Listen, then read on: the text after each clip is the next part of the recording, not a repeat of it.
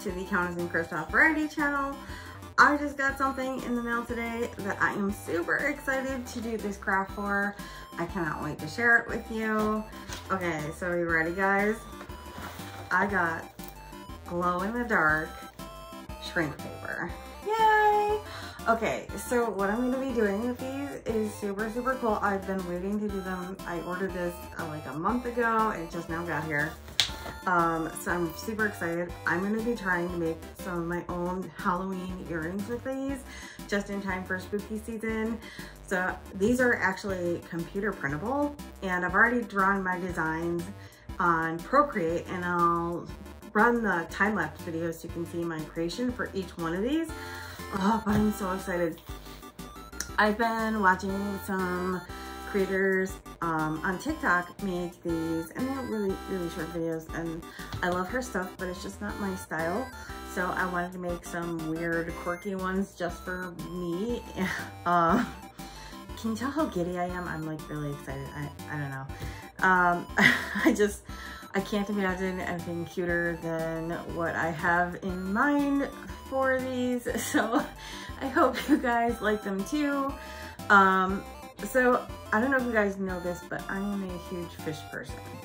So I know in the Thrifted Ghost painting, you saw my fish tank behind me while I was painting.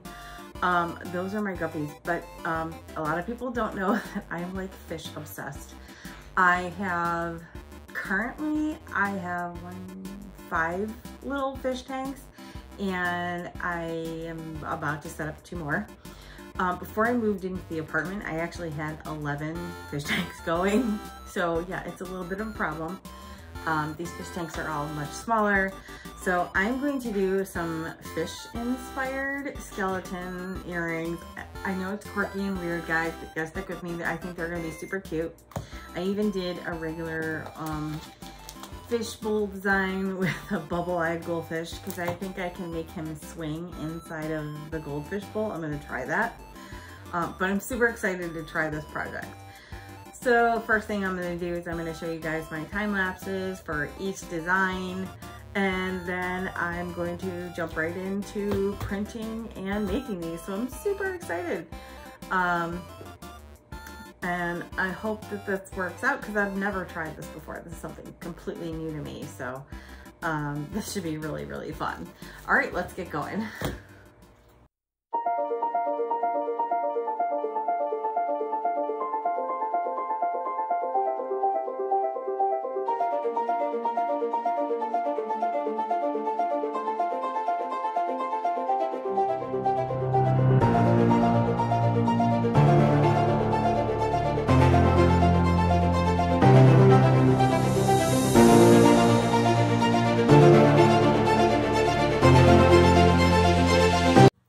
Okay guys, welcome back to my workspace. Don't judge me too much. This office is like half the size of the old one I used to have, so it's kind of cramped. Um, first thing I need to do is I basically sent my images to myself in email so that they would go from Procreate to my desktop. Um, I save them as PNGs. That's really important because you want clear outlines. And then I'm just going to use, well, I use Photo Impact Pro, but if you're more comfortable with Adobe Photoshop or any of those other programs, you can use those. I just have been working with Photo Impact Pro 13 for a very long time, so I'm going to continue using that. So I'm basically going to download my images and then put them on Photo Impact Pro so that I can arrange them on single sheets and then I'm going to print them. All right, so I don't know if you guys want to watch me do that, but we'll see what, what happens. All right, so I basically have to open my downloads.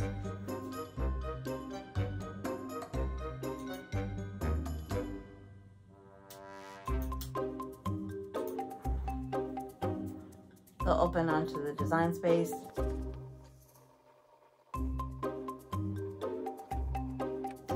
Now I saved these all at 300 DPI, so they're pretty high resolution. You wanna do that just so that you get a really clear, crisp image when you're printing. I really, really love this design. It's very simple. It's just a goldfish skeleton on a black goldfish outline. I think these are gonna be one of my favorites this year, so I'm gonna start with this design.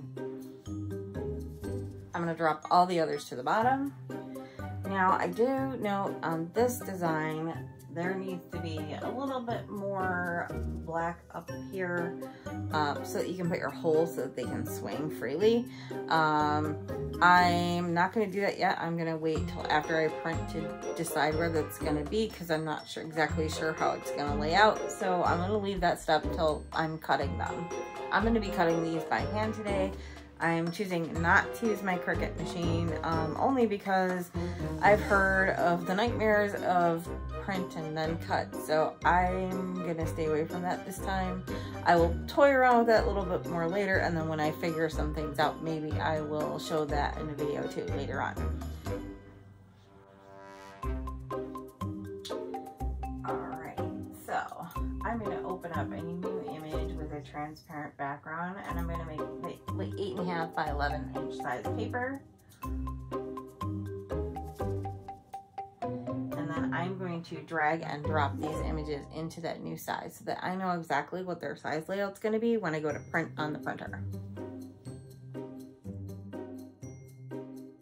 So these are just a little bit too big to fit on the page. I'm gonna either shrink them a little bit I could move them uh, closer together alternatively, but I don't want these earrings to be too big either. I know that shrink paper shrinks about five times its size, so something half the page is gonna be, you know, like that big when it's done, which is perfect for me. I don't want anything big and heavy. If you wanted them bigger, of course, you could do that bigger, but I'm not going to today. I'm gonna play around with couple different sizes. I'm gonna make some even smaller ones for little studs, I think, just to play around with, see what I like. So I'm gonna duplicate this.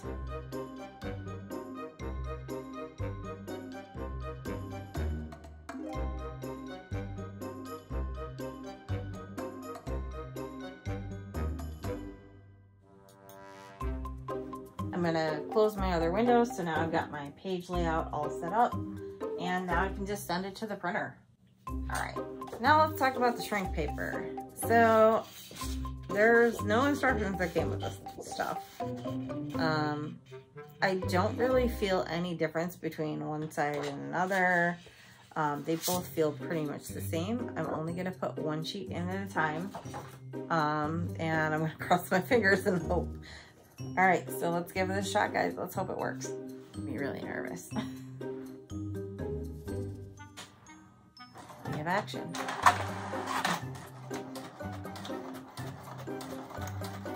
It seems to be taking the paper really well. You can see my print coming out. Oh, that's exciting. Wow, look how crisp that came out. Okay, I'm really surprised. That is so cool looking. Oh my gosh, now I'm super excited. And the black came out really nice and black too. I was worried it'd come out like milky, but I really, really like it. I think next time I design these though, I'm going to erase all the stuff I drew in white and just draw like black with clear lines. I may have to edit the design so that it glows the way I want it to. Like maybe there should be no design where the white skeleton is. Okay guys, so I just took the skeletal part out of the image and cut it out. And look how much better this image came out. So now those bones are gonna glow in the dark just like I intended. Oh, so yeah, you have to make whatever part you glow want to glow clear. And I, I think this is gonna work so much better. Another thing to note, I am using an inkjet printer with this. It says you can use an inkjet or a laser jet, but being it shrink paper, I didn't think I wanted to use the laser jet because of the heat would cause the paper to shrink or curl. So yeah, inkjet, the way to go, for sure. All right, next design I'm gonna be working on are these cute zombie goldfish. I don't know, I just, they're cute. And with some severed fingers for your ear parts. I just think it's adorable. Yeah, I know, I'm a dork. And now I'm ready to send to the printer.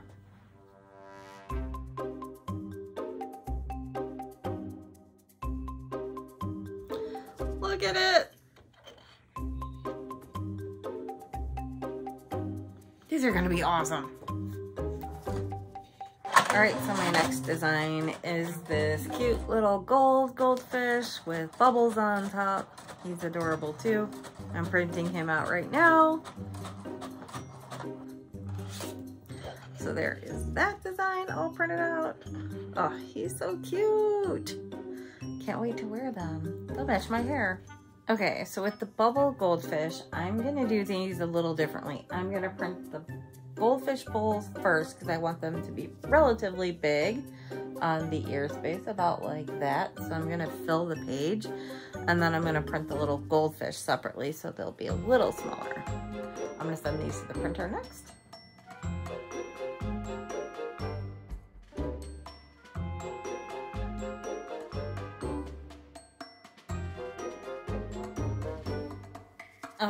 Bunch of these goldfish because I think some of them will be really cute as studs as well by themselves. Adorable is this? How can you say no? How could you? They're so cute. Also did this cute tarantula design. I did two tarantula desi designs actually. This one and then like a candy corn colored one uh, for some friends I know who asked me to do it. So I'm gonna print those out too. I mean, look how pretty they are. This is one of the bejeweled Brazilian tarantulas, I guess. There's my reference photo. I just loved all the colors. All right, I am sending the candy corn spider to the printer.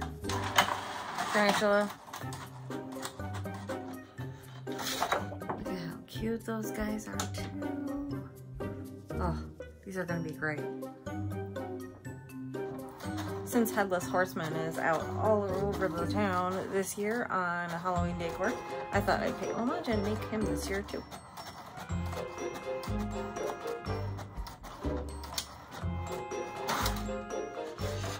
Those are gonna be so cool. oh, I am so excited. All right, well, I've got a mighty stack of designs to cut out and get to cooking, so let's get to cutting. I'm gonna use a fine tip uh, small pair of scissors to get a little detail, and I'm gonna leave a border around some of these, so I'm not gonna cut exactly on the image, but I'm gonna cut like slight around. Um, I'm not gonna film myself cutting anything. Um, you know, just do the best you can. If you know how to use your Cricut, of course you can do that or whatever electronic cutting device. I'm just not comfortable with using mine for this yet. Um, I do have some extra prints of some of these to practice with later on uh, when I get there. so, uh, but I'm going to be cutting for the next couple of hours. All right, I will see you guys back in the lab as soon as I am done cutting all of these awesome designs. Okay guys, so I've got some of my pieces cut out. I've got them on my tray. Uh, so I actually did find instructions. There's a website you can go to for the instructions on all the printing, cutting, and cooking methods of the glow and dark shrink paper. So I went online, I got the instructions. Um, instructions say to heat this uh, at 350, between 350 and 400 degrees until it flattens out. So no time, but we'll just watch and see how they come out. So I'm gonna use my toaster oven today and I'm gonna set the dial. I'm actually gonna go between 350 and 4 and then I'm gonna turn it on and I'm gonna let it preheat before I stick these in. And then once they're done baking, I've got it on a piece of parchment paper so I can slide it off. I'm gonna lay it on the counter and then I'm gonna use just use my iron because the only thing I can think of that's heavy enough and like will make it flat to flatten it out once it's uh, so it cools completely. And then we should have a pair of earrings. So really cool. Okay, so my toaster oven is preheated and I am now going to stick these in.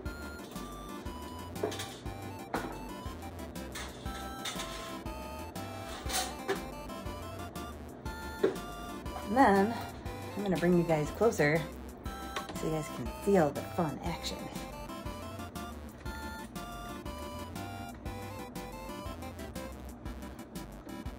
Oh, look at, they're starting to curl. Oh my God, that's so scary.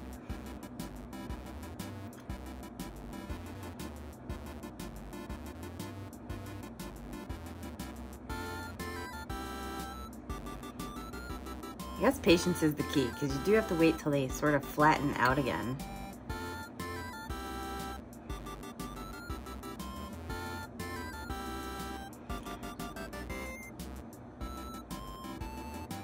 Wow, that's so freaky. All right, so I would say that's done.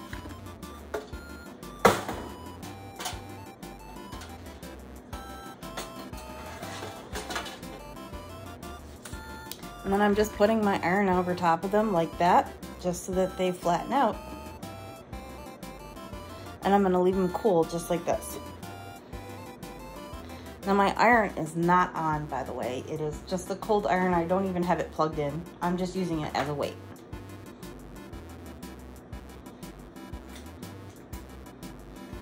And perfect.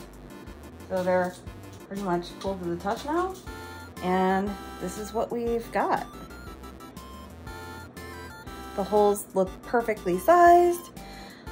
It looks like a really good size for an earring. Just the size I really wanted. So to me, that's perfect. The next step we have to do is we have to seal this all in there. So I'm gonna go over top of this with some UV resin and then cure that so that we get a nice shiny glossy finish.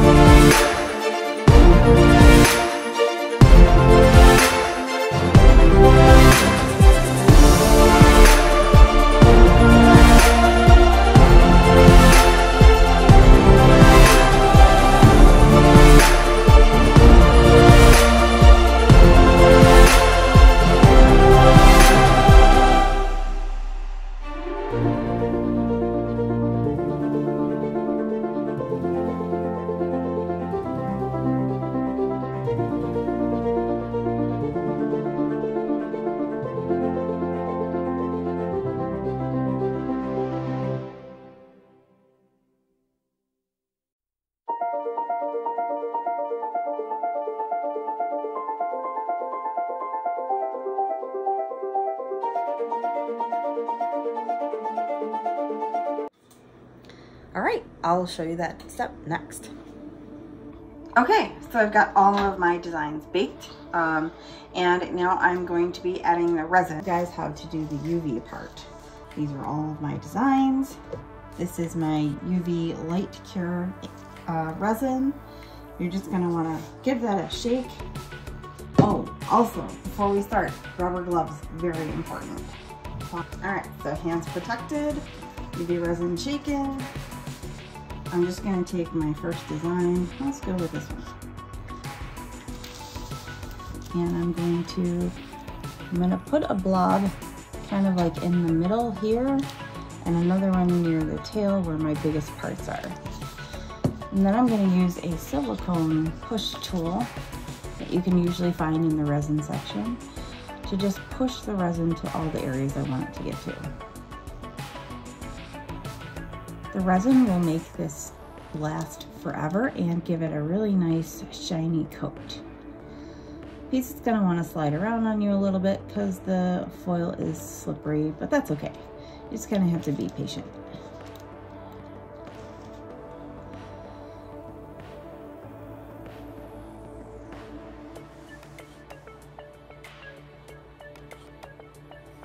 Now one thing I do want to note is my designs printed a lot darker than I thought they were.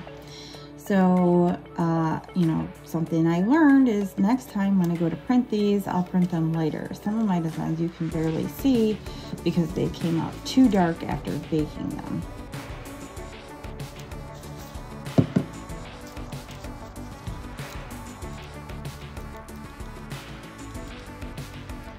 So I've got that all smoothed on there. All the parts are covered pretty evenly. Now before we cure this in the machine, we have to take a regular lighter, like a barbecue lighter,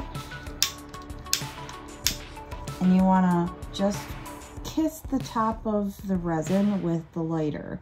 And what that does is that'll kill any air bubbles that are in it so you won't get bubbles in your finished product. Next thing I'm gonna do is I'm gonna put it in my light cure machine. Uh, this is set, has a time setting for 180 seconds. We wanna do two runs on that, so about six minutes. I'm just gonna slide this inside and I'm gonna push the button.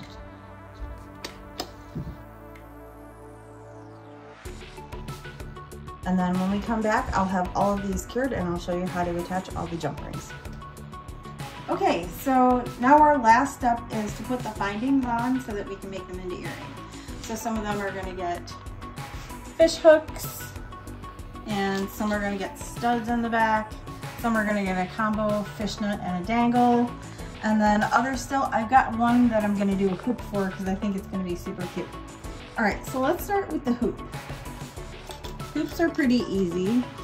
They're basically just a a solid ring with a circle at the end and it's gonna go in your ear and hold your charms that we made.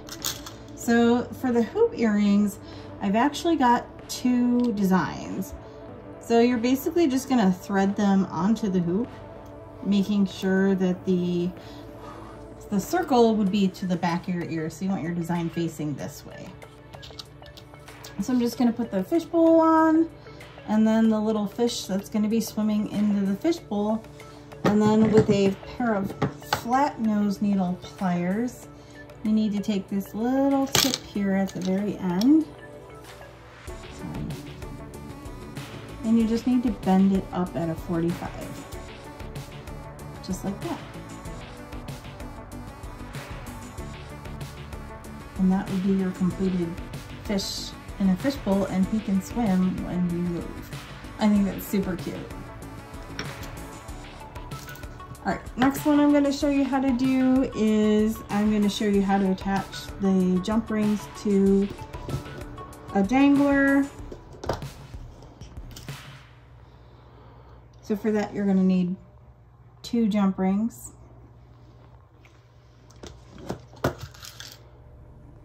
And two fish hook tops.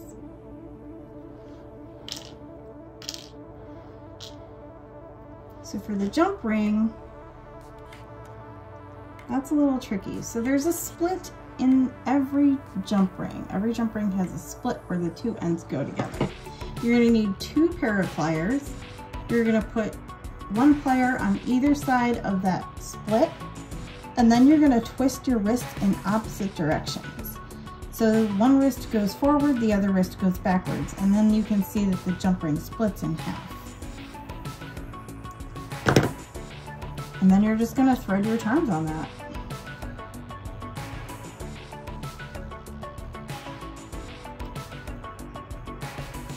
If it's not open enough, just open it a little more by doing the same motion.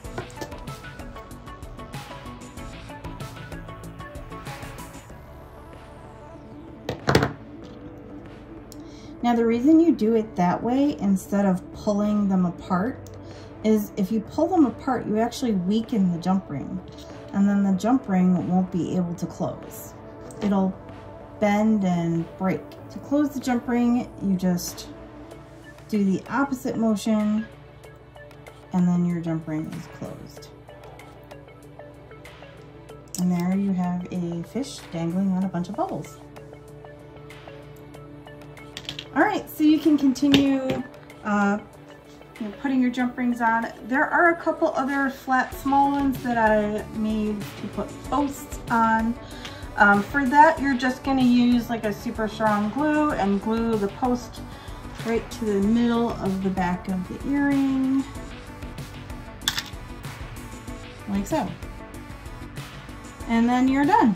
And you have cool pairs of earrings to wear for Halloween season.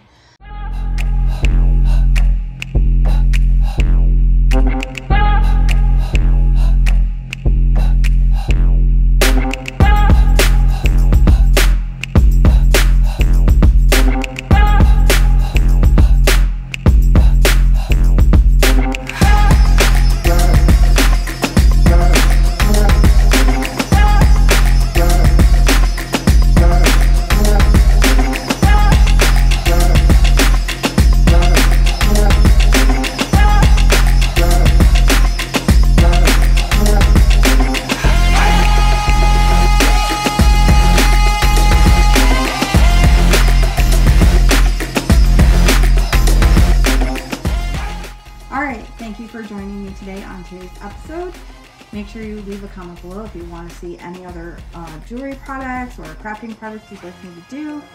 Um, make sure to give us a like on the, today's video if you like what you saw today. Don't forget to subscribe so you never miss an episode of all the fun going on here in the web. And don't forget to share so that we can find more people who might like what we do. Thank you for joining me again, and goodbye. I'll see you next time in the lab.